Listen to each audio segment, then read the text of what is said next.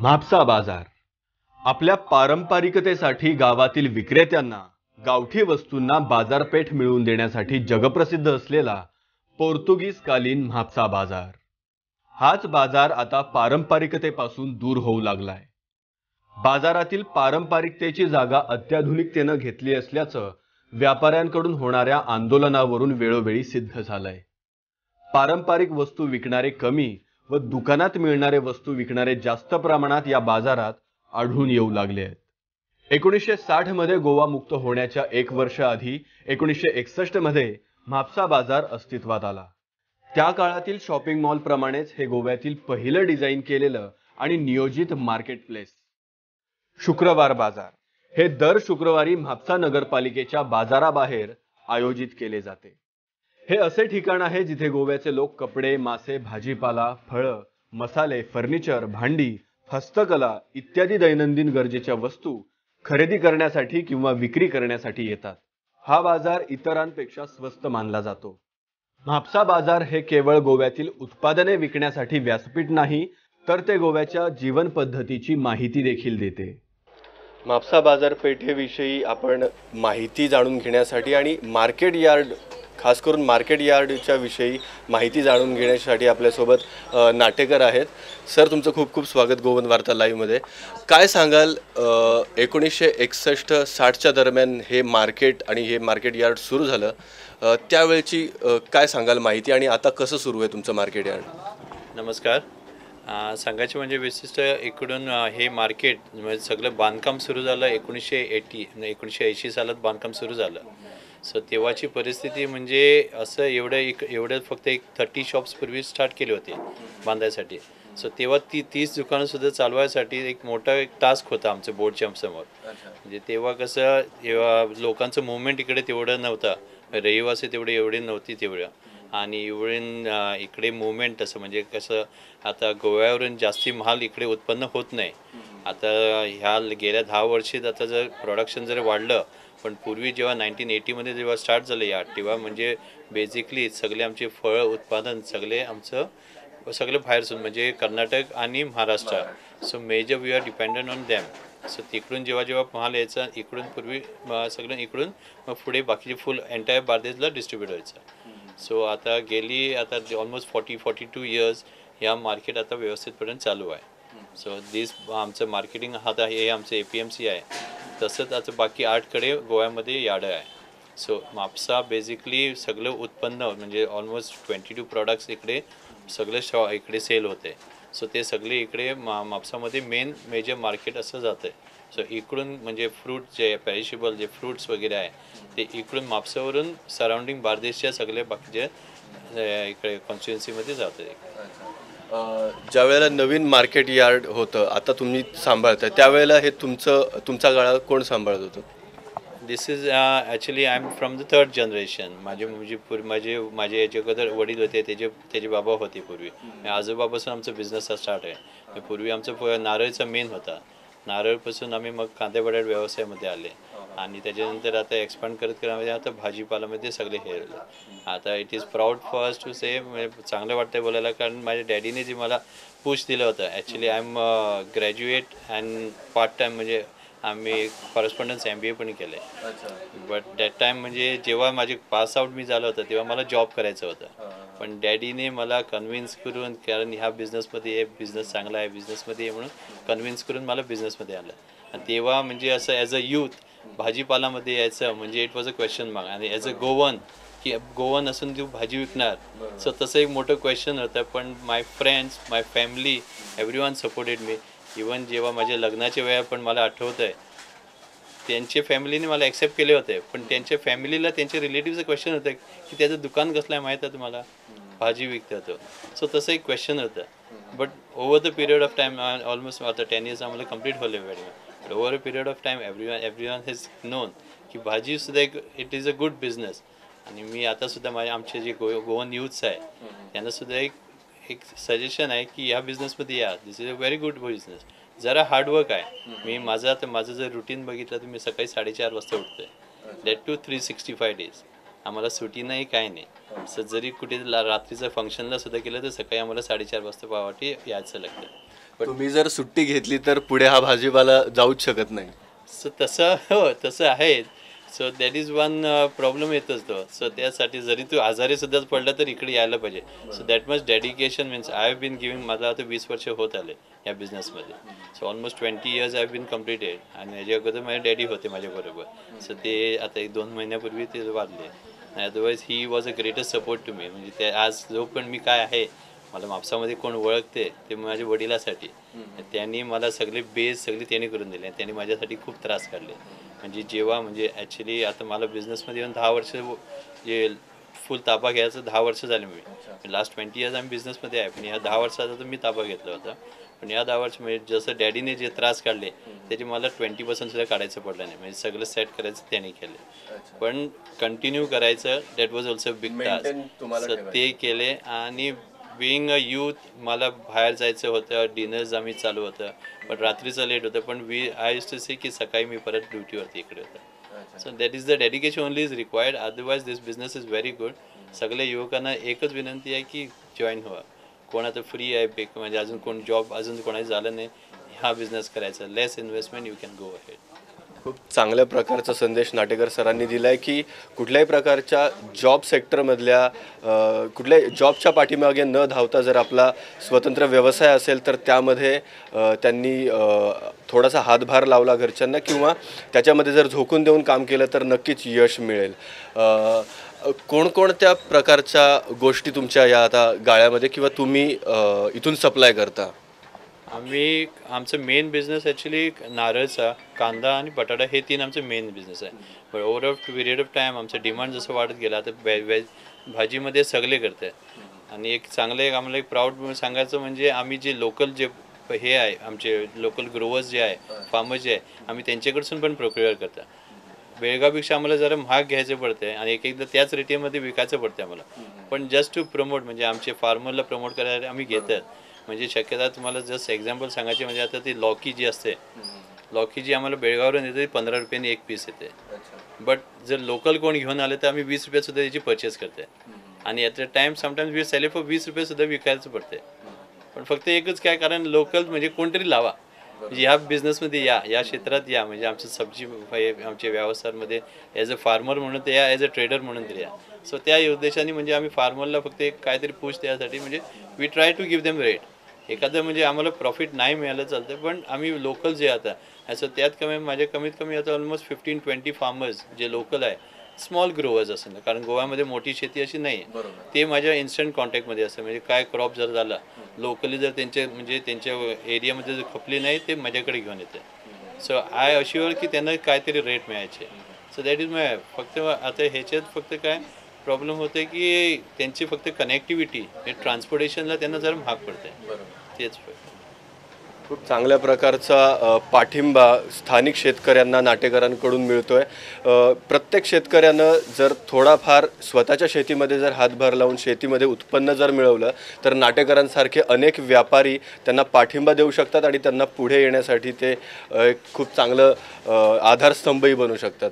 Sir आणखी काय सांगाल? म्हापशामध्ये विविध प्रकारचे गाळे आहेत. त्यांच्याबद्दलची काय माहिती सांगाल? इकडे आमच्या यार्डमध्ये आता जर बघितलं तर आता मेजर होलसेल म्हणजे फ्रूट इकडे मोठा व्यवहार आहे फ्रुटाचा फ्रूट इकडून मला वाटतं ऑलमोस्ट बारदेजला तिसवाडीला पेडण्या तालुकाला इकडून मेजर फ्रुट्स इकडून जाते कारण इकडे आमचा केळ्याचा मोठा व्यवसाय आहे इकडे. काढली करिंगांचा वॉटरमेलनचा जर वॉटरमेलन जे बाहेरचे येतं आमचे बाहेर जे आहे आमचे बाहेर बंधू आहे बाहेर शॉप्स जे आहे ते जे विकतात काय वॉटरमेलन्स वगैरे ते लोकल म्हणजे जे एरिया लोकल एरियाचे पण मेजर जे आता बाहेरचे सप्लाय जे असते ते इकडून सगळे बाहेरचे म्हणजे कर्नाटकसून पकडा नाही तर आंध्र प्रदेश तामिळनाडू तिकडून पण माल येते आता मेजरली म्हणजे आता मंडोई केळी जी आमची लोकल जी गोवन प्राईड होती ती आजच्या तारीखला गोवन मंडोई केळी कोण लावतच नाही. तर हे सगळं बिझनेस केलं केरलामध्ये सो ते केरलासून इकडे आणायचं ते सगळे आमचे बाकीचे जे गाळ्यावरती आहे म्हणजे चार पाच आमची शॉपं अशी आहेत जे मंडोई केळीचंच बिझनेस करतात. ते सगळे केर केरलावरसून आणायचं आणि इकडे मार्केटमध्ये सप्लाय करायचं. त्याच कारणामुळे मंडळीची केळी जी आहे ती महाग विकली जातात असं असू शकेल? महाग असे म्हणू शकत नाही पण प्रॉब्लेम काय होते ती ॲक्च्युली द प्रोडक्शन आता पूर्वी इकडे जेव्हा होती लागत होती ती टेस्ट आणि ही जी केरलाची टेस्ट येते that is hundred percent different लोकांना कसं मंडळी की पूर्वीपासून महागच आहे. पण द टेस्ट जी आम्हाला पूर्वी मिळायची ती आम्हाला भेटत नाही. सो त्यासाठी आम्ही शेतकऱ्यांना परत परत फक्त री- विनंती करतो की आमची जे प्रोडक्शन जे पूर्वी होते इवन जी वांगी जी लोकल पूर्वी होती आता आमच्या इथं ते बाहेरसून येतं. आता पुण्यासून वांगी येत. आहे ती आणि rate very cheap but the taste wise आमची लोकल एनी टाईम सो त्यासाठी आमची शेतकऱ्यांनी जरा त्या म्हणजे मंडोळी केळीचं आज तर प्रोडक्शनच गेलं म्हणू शकतो. गोव्यामध्ये मंडोळी केळी होतच नाही. एक टाइम होतं की मला वाटतं पुऱ्या इंडियामध्ये मंडोळी केळी म्हणजे गोव्यापासून स्टार्ट झाले होते. सो ते आज नाही आहे सो ती त्या काहीतरी त्यासाठी गव्हर्नमेंटने सुद्धा थोड्याफार प्रमाणात उत्पादन ती सुद्धा दॅट इज नेग्लिजिबल म्हणजे खूप कमी प्रमाणे. इकडून येते सगळी बाहेरसून येते. फुलांचंही खूप मोठं मार्केट आहे म्हणजे दसऱ्याच्या निमित्तानं असेल किंवा दिवाळीच्या निमित्ताने. हिंदू सण सण असतात त्यावेळेस अनेक बाजारपेठेतनं फुलांसाठी खूप मागणी असते. त्यावेळेची कशी डिमांड असते आणि त्यावेळेला फुलांचा बिझनेस कसा चालतो इथे? फुलाचा बिझनेस इकडे म्हणजे कसं आता आमचा त्योहार तर आमच्या गोव्यामध्ये तर चालूच असते. सो त्यासाठी बारा महिने डिमांड असते. आणि दसऱ्या स- साधारण आमचे जे मोठे उत्सव दसऱ्या पकडा नाहीतर पाडवा पकडा नाहीतर दिवाळी पकडा त्या टाईमला जर सगळं आमचं म्हणजे प्रोडक्शन फुलाचं म्हणजे सगळं बाहेरसून येतं आहे सगळं Karnataka Maharashtra. Again we are means Goa basically dependent on that आता गो म्हणजे लास्ट दहा वर्षे आता सरकार government is trying to do promote करते हे ॲग्रिकल्चर स्थानिक शेतकऱ्यांना. प्रमोट करते बट ते कसं आहे it is over a period of time आमचे शेतकरी सुद्धा कसं एक वर्ष करणार दुसऱ्या वर्षी सोडून देणार. पण ॲग्रिकल्चर क्षेत्र असं आहे की you have to slog at least म्हणजे पाच वर्ष कंटिन्यूस जर केलं तेव्हा तुम्हाला सहाव्या वर्षी रिझल्ट भेटणार. पण आम्हाला फास्ट रिटर्न्स पाहिजे. सो एक वर्ष करतं दुसऱ्या वर्ष करतं थि थर्ड इयर सोडतं. गव्हर्नमेंटचं सपोर्ट आहे गव्हर्नमेंटची फॅसिलिटीज आहे सबसिडीज आहे लई आहे. गव्हर्नमेंट म्हणजे आपल्याप्रमाणे काय करायला पाहिजे तेवढे गव्हर्नमेंट करते बट इट शुड बी कसं कॉर्डिनेशन होत नाही तसं प्रॉपर सो आजच्या तारीखला द हॉर्टिकल्चरचे एवढे स्टॉल्स घातले गव्हर्नमेंटने. Actually it is competition for us कारण आम्ही जे ज्या मार्केटमध्ये खरेदी करतो त्या मार्केटमध्ये ते करतात. आणि त्यांना सबसिडी मिळते. ऑल द फॅसिलिटीज त्यांना मिळते. बट फक्त एकच फक्त वाईट दिसतं काय? जे स्टॉल्सवाले आहे ते चांगला जो माल त्यांना जो येतो फर्स्ट इनिशियल सकाळचा तो चांगला माल काढून ते हॉटेलला देतात. कारण ते एक दोन रुपये रेट जास्ती मिळणार म्हणून. आणि जी बोर्डवरती रेट असते ती मग लोकलला देते रेट पण द क्वालिटी ऑफ माल तिकडे येतं तर माल चांगला मिळत नाही. सो याच्यावरती गव्हर्नमेंट सुद्धा जरा दखल द्यायला पाहिजे. त्याच्यात काय म्हणजे काय ते हॉटेलला कोण सप्लाय करते हॉटेल म्हणजे जे स्टॉल्स आहे त्यांच्यावरती कारवाई व्हायला पाहिजे. बरोबर. कारण ह्याच्यात दोन फायदे होणार. एक तर स्टॉल म्हणजे जे स्टॉलवरती जो माल येते तो आमच्या स्थानिक लोकांना चांगला मिळणार. एक आणि जे आता बाकीचे जे शॉप्सवाले ज्यांना सबसिडी नाही मिळत खास करी आमच्यासारखे जे आम्ही हॉटेलला सप्लाय करतो ते आम्हाला बिझनेस करायला बरोबर मिळणार. जे स्टॉल आता गव्हर्नमेंट काय गव्हर्नमेंटचं आपलं गव्हर्नमेंट आपलं काम करतंय. गव्हर्नमेंटचं काम काय गव्हर्नमेंट तिकडून प्रोक्युअर करते कुठून महाराष्ट्र कर्नाटक असून. आणून तिकडे स्टॉल म्हणजे जे कोण स्टॉल अप्लाय केले स्टॉल होल्डर आहे त्यांना देत आहे स्टॉल होल्डरचे ॲक्च्युली काम काय फक्त लोकल्स जे आहे सराउंडिंग पीपल त्यांनाच माल द्यायचा. हॉटेलला द्यायचं त्यांना परवानगी नाही आहे. पण फक्त आता काय होते ही सबसिडाईज रेटमध्ये आहे. सबसिडाईज रेटचा माल घेऊन ते हॉटेलला देते so in term as a tax payer me as a tax payer it is a loss for me also कारण जे गरीब लोकांना पोचायला पाहिजे थ्रू हॉर्टिकल्चर ते पोचते हॉटेलला. आणि हॉटेलला जाताना कसं होतं सगळं सिलेक्टेड माल चांगला त्यांना जातं. जे लोकल मग जेव्हा सकाळी जो कस्टमर येतं वाड्यावरचाच पकडा. त्याच्यात वाड्यावरचा जो माणूस तिकडे न्यायला येतो तेव्हा त्याला पाहिजे असं माल मिळत नाही. कशाला? कारण त्याच्या अगोदर त्याने वेचून सगळं हॉटेलला माल दिला सो ह्याच्यात गव्हर्नमेंट कॅनॉट डू एनिथिंग आता फक्त काय ह्याच्यावरती इन्क्वायरी करू शकते गव्हर्नमेंट गव्हर्नमेंट आपल्यापुरती काम करते त्यांना आणून माल द्यायचा. So this is the problem which we are also facing कारण हॉटेलला दिले कारण आमचे जे कस्टमर आहेत ते नाही ते नाही गेले. सो त्याच्यावरती काहीतरी हे करायला पाहिजे. गोवा गोव्यामध्ये मोठ्या प्रमाणात राईसचं सुद्धा उत्पादन होतं काजू आहे त्याचबरोबर सुपारीचं उत्पादन होतं नारळांचं उत्पादन होतं. ह्या गोव्या गोव्याची जी म्हणजे गोव्याच्या शेत शेतकऱ्यांचं जे मुख्य उत्पादन आहे ह्या उत्पादनाचा बाजारपेठेमध्ये कसा रिस्पॉन्स असतो? ॲक्च्युली सांगायचं म्हणजे गोव्यामध्ये आमचं प्रोडक्शन हे असं जसं तुम्ही म्हटलं नारळ काजू आणि सुपारी मेन आमचं काजू आणि सुपारी मेन होतं. आणि ते आता ते ॲक्च्युली थ्रू शेतकरी. शेतकरीला आमचं म्हणजे एक दोन सो सोसायटी आहे. चांगल्यापैकी जे काम केलं आहे. एक आदर्श सोसायटी आहे. जसे ज्याचे चेअरमॅन आमचे प्रकाश वेब सर आहे. आणि हे जे गोवा बागायतदारचे जे आमचे एक्स एम पी आहे ते त्यांचे चेअरमॅन आहे. असे दो बरेपैकी दोन्ही बे बऱ्यापैकी तेच काम चालू आहे. म्हणजे जे प्रोक्युरमेंट जे घ्यायचे काम असते जे आता आता काजूचं सध्या प्रोडक्शन चालू आहे म्हणजे जे हार्वेस्टिंग चालू आहे काजूचे ते सगळे म्हणजे बऱ्यापैकी रेट द्यायचं काम ते दोन्ही शेत- हे करतात.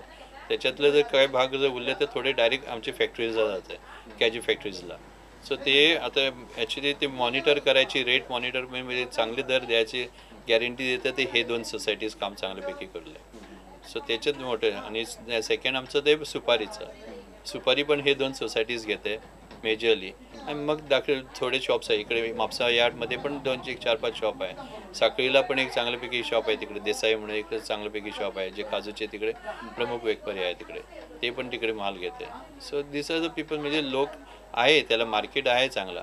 पण अगेन कसं जात आहे हे काजू क्षेत्रातले पकडा नाही तर सुपारी क्षेत्रातले होतं काजू जे पण वीस पंचवीस वर्षापूर्वी चाळीस वर्षापूर्वी जे कोणी लावले होते अँसेस्टर्सने फर्स्ट जनरेशन सेकंड जनरेशन आताच्या पिढीने वाढवले काय? इट इज अ क्वेश्चन मला तेवढी आयडिया नाही आहे बट कसं आहे आता महाराष्ट्र कर्नाटकमध्ये आता नारळची सुद्धा बाग कसे आहे? Every twenty twenty thirty years ते प्लांट चेंज करतात.